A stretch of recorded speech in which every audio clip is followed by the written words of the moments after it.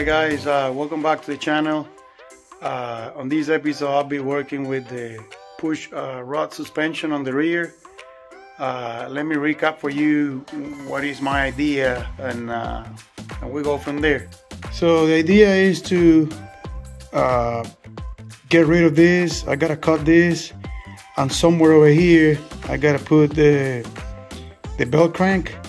Obviously this will be replaced all these will be gone but this will be replaced by a round uh, push rod with you know a left and a right heim at the bottom you know. So the plan is to get somewhere over here uh, on this uh, on this rail right here this will be gone. From here to the other side over there uh, a cross brace so I can put the the you know the, the the coilovers in an angle at the middle. So that's the plan. Uh, most likely the the the belt crank doesn't doesn't fit over here. So most likely I gotta cut uh, later on. I will I will try to get rid of this first and then if I gotta cut more I cut more. But most likely I gotta cut somewhere over here. And uh, get rid of this and then I just go with a round tube somewhere in here. So I can give more support to the adhesion here. And then uh,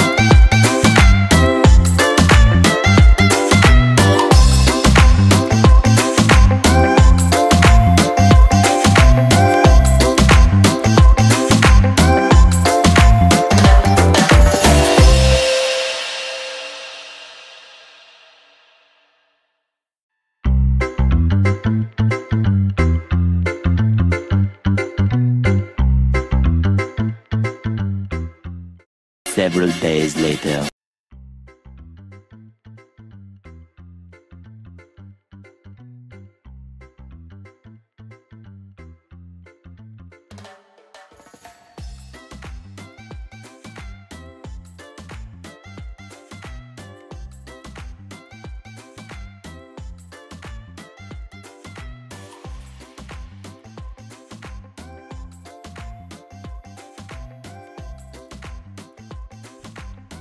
all right guys i got these over the mail. Uh, always uh, you know in a good package and all that. So these are the parts that i will put together and i will show you you know how these